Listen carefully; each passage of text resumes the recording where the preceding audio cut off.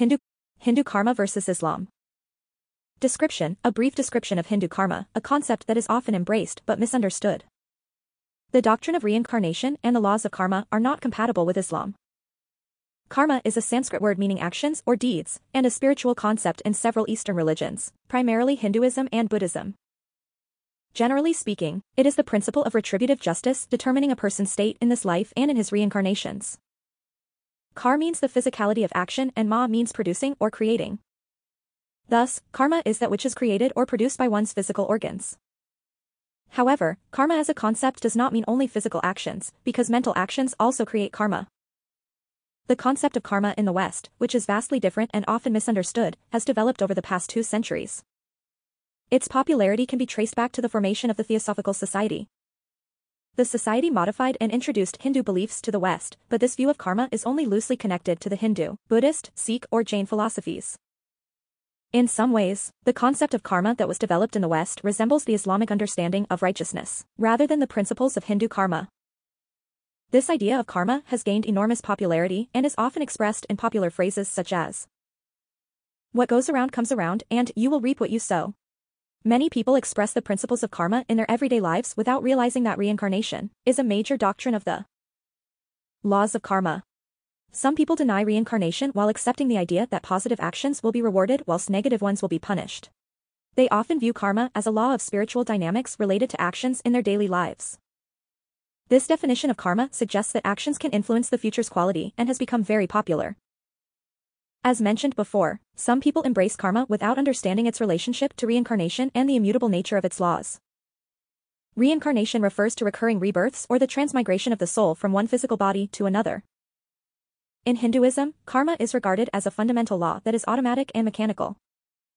It is not imposed by God, or a god, it is universal and cannot be interfered with. It is completely impersonal, and it is believed to be wholly just and fair. This karmic law is applicable to all living beings, including plants, animals, and microorganisms. Hindu karma tells us that when a person with good deeds dies, he goes to the next world through the path of light and enjoys the heavenly pleasures. When the karma that he had accumulated over his lifetime is exhausted, he returns to the earth to continue his life in a new incarnation. When a person with evil deeds dies, he goes to the dark world along a path of darkness and suffers there until his bad karma is exhausted, after which he returns to the earth reincarnated. Thus the consequence of having lived, what is, in Hinduism, considered a good or a bad life is exhausting karma in a pleasurable way or suffering in darkness. When the soul begins its new life, it is free to begin again, accumulating both good and bad karma and attempting to free itself from the cycle of rebirth. When discussing karma and Islam, it is important to understand that Islam categorically rejects any concept of reincarnation. In Islam, we have one life, with one chance to get it right, and then we experience one death. There is no going back and no moving between species or genders. Until when death comes to one of them, he says, My Lord, send me back, so I may do good in that which I left behind. Never. It is only a word he is saying, and behind them, the disbelievers, is a barrier until the day they are resurrected. Quran 23 hours 99 minutes and 100. Until when death comes to one of these idolaters and he sees what is going to befall him, he says regretfully over his life that has escaped him and his deficiency regarding Allah. O Lord, return me to the worldly life. Actions when I return to it. Never. The matter is not as you reguessed. It is only a statement he is uttering. If he were to return to the worldly life, he would not fulfill what he promised. These people who have died will remain in a barrier between the world and the afterlife until the day of resurrection and rising. Thus, they will not return from it to the world, to make up for what they lost and to correct what they spoiled. Al-Mu'minin 99-100 Death is the end of our transitory life in this world and the beginning of our infinite life in the hereafter. Islam, therefore, requires us to believe in paradise and hell. We are born into this life, and then we die. After we are resurrected, we will begin a new and everlasting life in the hereafter. God also explains that if we were to go back and try again, it would be pointless because we would undoubtedly repeat our mistakes. But if they were returned to the world, they would certainly revert to that which they were forbidden. Quran 6:28. These idolaters forbid people from accepting the messenger as they themselves stay away from doing so. They do not let others benefit in the same way that they themselves do not benefit. By acting like this, they only destroy themselves, but they fail to realize that they are bringing about destruction. If you, O messenger, could only see them when they will be exposed to the fire of hell on the day of rising, and they will regretfully say, if only we could be sent back to the world. Not deny Allah's words and be from those who had faith in Allah, then you would see a remarkable sight of their trouble. They're saying that they would believe if sent back is a lie. Instead the statement that they used to keep hidden, which was by Allah, we were not idolaters, has appeared to them when their limbs gave testimony against them. If they were suppositi sent back to the world, they would return to the disbelief and associating partners with Allah that they had been prohibited from. So they are eyeing in their promise that they will believe if they are sent back. These idolaters say, there is no life but the life we presently have and we will not be raised to give account. If you, O messenger, could only see when those who denied the resurrection will be made to stand before their Lord, you would see a remarkable sight of their trouble when Allah will say to them. Is this resurrection that you used to deny not the truth about which there is no doubt? They will say, I swear by our Lord who created us, it is certainly true and there is no doubt about it. Allah will then say to them, Taste the punishment that is a result of your denial of this day, which you used to reject in the life of the world. Those who deny the resurrection on the day of rising and regard standing before Allah to be far-fetched are in utter loss. Until, when the hour comes upon them suddenly without any prior knowledge, they will say, because of extreme regret. Alas for us and what disappointment, due to our having been neglectful of Allah by disbelieving Him and not preparing for the day of rising. They will carry their evil actions on their backs. How terrible are those evil actions that they carry. Al-An'am 26-31 our actions, deeds and beliefs determine our hereafter, and we have free will to choose how we behave. Thus, our behavior in this world is crucial. In order to guarantee our place in paradise, a believer must live a good and righteous life. Whoever acts righteously, whether male or female, and is a true believer, we will surely give them a good life, in this world with respect, contentment and lawful provision. And we shall pay them certainly a reward in proportion to the best of what they used to do, i.e., paradise in the hereafter. Quran 16 hours 97 minutes. Whoever does good deeds in accordance with the sacred law, whether male or female, while having faith in Allah, we will grant them in this world a good life. By their being pleased with Allah's decree, content and guided towards righteous actions. We will reward them in the afterlife in accordance with the best good deeds that they used to do in the world. Al-Nahl 97 While there is no concept of karma in Islam, there is indeed a connection between our deeds and actions and our future, both in this world and in the next. Every person must face the consequences of their actions. But rather than being subject to an immutable law where man is helpless, Islam offers us ways to change our destiny and choose our destination. When we obey God's laws and instructions, we are on a path to a blissful hereafter. If on the other hand, we choose to disobey God there is always a door open to forgiveness. God will accept our repentance, and he makes it easy for us to turn to him. He judges all our actions and is the one who determines our ultimate outcome. Islam says that good actions lead to good outcomes and bad actions inevitably lead to bad outcomes. However, we have the chance to wipe out our sins with repentance and good behavior. Verily, good deeds wipe out misdeeds, i.e., small sins. That is a reminder for the mindful, those who accept advice. Quran 11 114. Maintain, O Messenger, the prayer in the best manner at the two ends of the day, at the beginning and end of the day. Also, maintain the prayer during the hours of the night. Good actions wipe out minor sins. This is a warning for those who pay attention and a lesson for those who accept. Be patient in doing what you have been instructed to do with respect to being upright and avoiding the things you have been prohibited from, such as transgression and leaning towards the wrongdoers. Allah will not cause the reward of those who do good to be wasted. Instead, he will accept from them the best of what they did and will give them their reward in accordance with their best actions. HUD 114-115 Prophet Muhammad, may the mercy and blessings of God be upon him, tells us to fear God and that following a bad deed with a good deed will wipe out the bad deed. He continues his advice by reminding us to have a good attitude and good manners towards others, at Tirmidhi.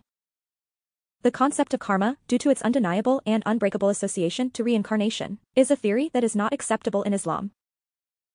However, karma, as it is incorrectly understood nowadays, is close to the Islamic idea that righteousness is always attainable. A person is strongly encouraged to be morally upright and respectful to everyone and everything on this earth. Islam is a set of guidelines made specifically for humankind by our Creator. Bibliography Castro, J. 2013 What is Karma?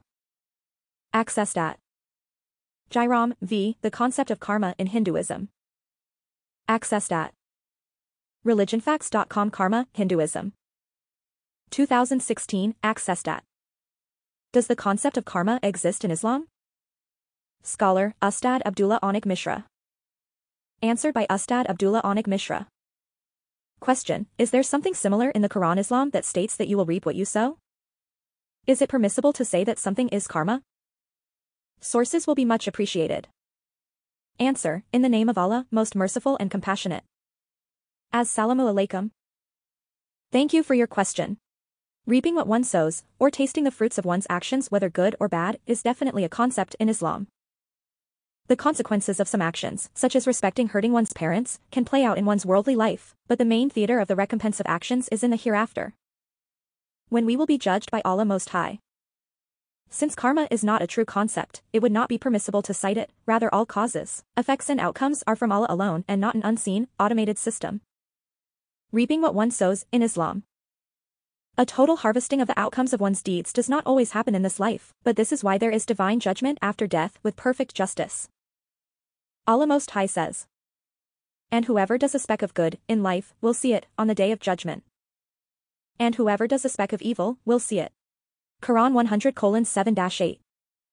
So whoever did a good or righteous deed equal to the weight of a small ant, will see it in front of him. And whoever did an evil deed equal to that, will see that in front of him also. Al-Zalzala, 7-8 It is not deeds however, but the mercy and justice of Allah that determine each person's fate. The concept of karma. Karma is a belief from ancient Indian religions in which an unseen system keeps a running total of one's deeds throughout multiple lifetimes, to determine one's status in fortune. Caste and wisdom through each stage of reincarnation. Since reincarnation is not a true concept, with humans having only have one life to live, and the one who records all deeds and informs us of them and creates their outcomes is our creator. There is no need to posit a theory of karma or cite it in one's speech. Was Salam. Abdullah Anik Mishra. Checked and approved by Faraz Rabbani. Karma. Question. Assalamu alaikum WRWBR. As Muslims do we believe in karma? Answer. In the name of Allah, the inspirer of truth. Muslims do not believe in karma. Fundamentally, karma is a dharmic philosophy of divine justice and works in tandem with dharmic beliefs of reincarnation. The adherents of these religions believe that person who does good would reap the benefit of that good, either in this current cycle of life or a new rebirth. Similarly, a perpetrator of injustice and misdeeds would reap evil in this current cycle of life or their next cycle. These beliefs are in stark contrast to the Islamic system of divine justice, a fundamental aspect of our faith is that we will be accountable for our good and bad actions and will be assigned an abode in the hereafter. Allah describes himself in the Quran as the one who created death and life in order to test which of you is best in deeds. And he is the Almighty, all-forgiving, Q. 67 2. The one who created death and life to test you, O people, which one of you is better in terms of actions. He is the Almighty who no one can overpower, the forgiving of the sins of whichever of his servants repents to him. Al-Mulk 2. Allah will reward the person who performs good deeds. Similarly, the wrongdoers will be questioned about their misdeeds. Concerning this, the Prophet said, Whoever has oppressed another person concerning his reputation or anything else, he should beg him to forgive him before the day of resurrection when there will be no money to compensate for wrong deeds, but if he has good deeds, those good deeds will be taken from him according to his oppression which he has done, and if he has no good deeds, the sins of the oppressed person will be loaded on him. Bukhari, Hadith number 2449. Allah did not intend to create this earth as a perfect abode. In his infinite mercy and justice, he created life and death as a test to see who will exceed one another in good deeds. While a person may not receive justice in this world, one will receive justice in the court of Allah, the Almighty. We believe that Allah is omniscient and the just. Nothing escapes his knowledge, and a person will be accountable for their actions on the day of judgment. Can a person be punished for their bad deeds on this earth? Indeed. Can a person be rewarded for their good deeds on this earth? Certainly, however, this does not take place by necessity. There is no necessary causal link between good actions and rewards in this world. Similarly, there is no causal link between evil actions and punishment in this world by necessity. In conclusion, Muslims do not believe in karma. Instead, we believe that our system of divine justice is complete as one will be accountable for their actions in the court of Almighty Allah. And Allah knows best. Answered by Maulana Ikramul Haq Mia. Checked and approved by Mufti Abdul Rahman Mangera. Mufti Zubair Patel.